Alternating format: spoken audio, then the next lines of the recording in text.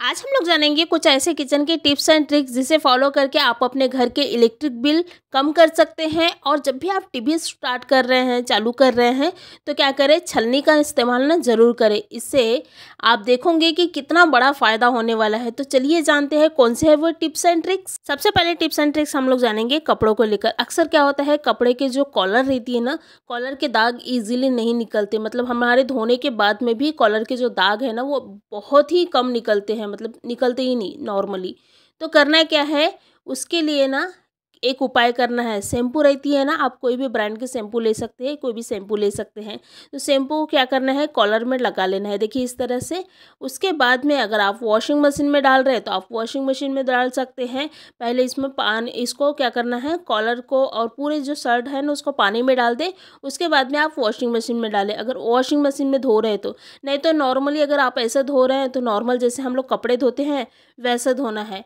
अगर जो अस्तीन रहती है ना, अस्तीन में भी इसी तरह से दाग जो है वो रह जाते हैं और वो बिल्कुल भी नहीं निकलते। तो आप अस्तीन में भी सेम इसी तरह से अप्लाई कर सकते हैं। तो उससे क्या होगी? बहुत ही आसानी से दाग जो है वो छूट जाएगी। मतलब कि कॉलर के, अस्तीन की जो रहता है ना दाग तो वो बहुत ही आसानी से छूट जाती है। तो इस तरह से आप बकेट में डाल के उसके बाद में आप वॉशिंग मशीन में डाल सकते हैं या फिर नॉर्मली हम लोग जैसे कपड़े धोते हैं ना, वैसे आप धो सकते हैं। तो ये बहुत अच्छा तरीका है कॉलर के और अस्तिन के जो दाग है ना, उसको निकालने का। नेक्स्ट हमारे टिप्स एंड ट्रिक्स है पैरों को लेकर। अक्सर क्या होता है, जोड़ों में दर्द होने शुरू हो जाते हैं मतलब जोड़ों में दर्द होता है, बहुत लोगों को बहुत प्रॉब्लम्स है कि पैर दर्द होना, जोड़ों में दर्द होना, ऐसे बहुत सारे प्रॉब्लम्स है।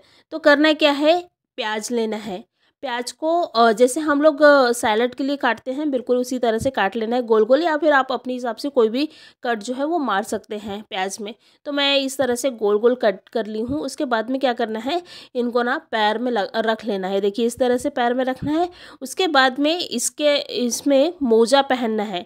मतलब कि पहले प्याज को रख दे उसके बाद में मोजा पहने और प्याज जो है वो अंदर ही रहना चाहिए।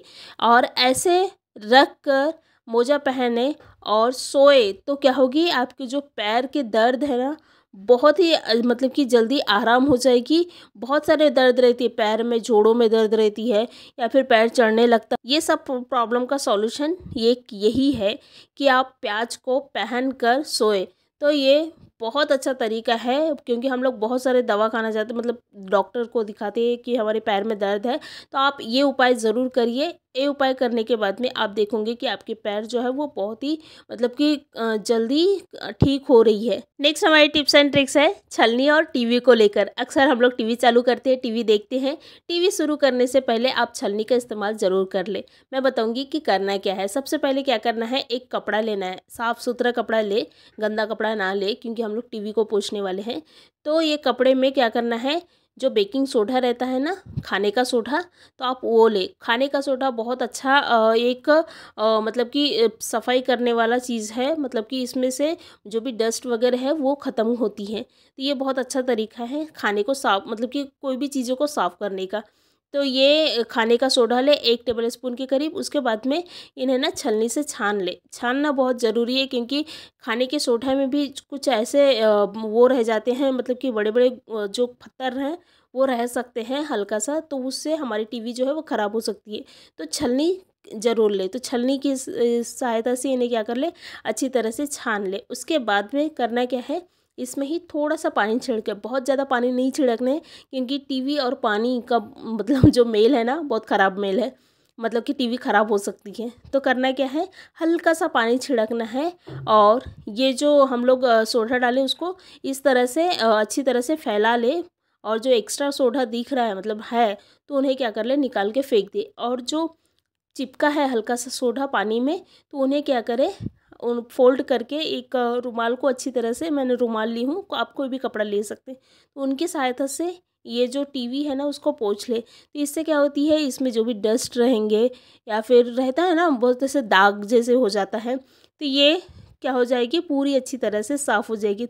आप देख रहे हैं मैंने कितनी अच्छी तरह से इन्हें साफ़ कर ली हूँ। तो ये आराम से करें बहुत ज़्यादा प्रेशराइज ना लगाए मतलब कि आराम से ही आ, क्योंकि हमारा कांच है फूटने का डर रहता है। तो इसे क्या करें आराम से देखिए इस तरह से साफ़ कर ले और उसके बाद में अच्छी तरह से और दूसरे कपड़े से पोछ ले। तो आप देखोगे कि आपकी जो टीवी का स्क्रीन है वो काफ़ी अच्छी तरह से आ, मतलब कि साफ़ साफ़ हो गई। इस तरह से आप अपने टीवी के स्क्रीन जो है उसको साफ़ कर सकते हैं। बहुत अच्छा तरीका है ना?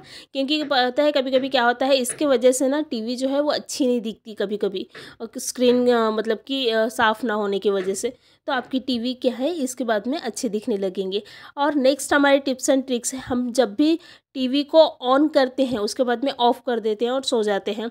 तो ऑफ़ करने के बाद में हम लोग रिमोट से ऑफ़ करते हैं। तो रिमोट से ऑफ़ करने के बाद में क्या करना है? जो बटन रहती है ना तो बटन से भी ऑफ़ कर दे। क्योंकि क्या होता है, हम लोग जब रात में सोते हैं ना तो कभी पानी उनी आने का डर रहता है, कभी बिजली कड़कती है तो उससे क्या होती है, हमारी टीवी जो है वो ख़राब होने का चांसेस रहता है और इलेक्ट्रिक बिल भी बहुत ज़्यादा लगता है। तो करना क्या है, जब भी आप सो रहे हैं तो पहले रिमोट से ऑफ़ कर दीजिए और उसके बाद में टीवी के जो बटन रहते हैं ना, उससे ऑफ़ कर दीजिए। तो इससे क्या होगी, आपकी इलेक्ट्रिक बिल तो बचेगी ही बचेगी, बल्कि आपकी टीवी जो है वो ख़राब होने से भी बचेगी। ये बहुत अच्छा तरीका है। आप जब भी टीवी को बंद कर रहे हैं, सो रहे हैं या फिर कहीं बाहर जा रहे, होता है ना, हम लोग वीकेंड में कहीं बाहर जाते हैं, तब भी आप क्या करें टीवी को टीवी की जो बटन है ना, उसको ऑफ़ कर दें। तो आपकी जो इलेक्ट्रिसिटी बहुत ही ज़्यादा बचेगी। नेक्स्ट हमारे टिप्स एंड ट्रिक्स हैं इलेक्ट्रिसिटी को ही लेकर। क्या होता है, हमारे घर पे ना दो लाइट रहती है, एक बड़ी वाली लाइट रहती है और छोटी वाली लाइट रहती है। तो जब ज़्यादा ज़रूरत है तो बड़ी वाली लाइट को ऑन कर दीजिए और जब कम ज़रूरत है तो आप छोटी वाली लाइट को जलाएँ, क्योंकि बड़ी वाली लाइट में ज़्यादा इलेक्ट्रिसिटी लगती है और छोटी वाली लाइट में इलेक्ट्रिसिटी जो है वो कम लगती है। तो आप ये उपाय कर सकते हैं, घर में दो चीज़ें अगर, दो चीज़ें कंटिन्यू चालू ना रखें, अगर जब जब ज़रूरत है तो ही चालू करें नहीं तो कोई ज़रूरत नहीं है। और ज़्यादा से ज़्यादा सनलाइट का यूज़ करें तो आपको लाइट बार बार चालू करने की या फिर आ, लाइट चालू रखने की ज़रूरत नहीं है। तो आप क्या कर सकते हैं ज़्यादा से ज़्यादा दिन में तो सनलाइट का यूज़ करें और रात में ही यूज़ करें लाइट का। तो भी ज़्यादा ज़रूरत है तो ही बड़ी लाइट को मतलब कि इस्तेमाल करें बड़ी लाइट को चालू करें और अगर ज़्यादा ज़रूरत नहीं है तो आप छोटी लाइट से भी काम चला सकते हैं। इस तरह से आप छोटे छोटे उपाय करके आप इलेक्ट्रिसिटी को बहुत ही ज़्यादा कम कर सकते हैं। और हम लोग क्या करते हैं? ज़रूरत नहीं रही थी ना, तब भी हम फ़ैन ऑन करके रख देते हैं। तो ये भी गलत बात है, इससे भी आपकी इलेक्ट्रिसिटी जो है वो ज़्यादा एक्स्ट्रा जाएगी। तो आप क्या करें, जब ज़रूरत है तभी फ़ैन को ऑन रखें और जब जब इंसान है तभी फ़ैन को ऑन रखें। ऐसे ही ना रखें, क्योंकि कभी कभी होता है ना, बाहर भी चले जाते फिर भी फ़ैन ऑन रहता है तो इससे भी आपकी इलेक्ट्रिसिटी जो है वो ज़्यादा हो सकती है। तो आप छोटे छोटे उपाय करिए और अपनी इलेक्ट्रिसिटी को बहुत ही कम करिए। धन्यवाद।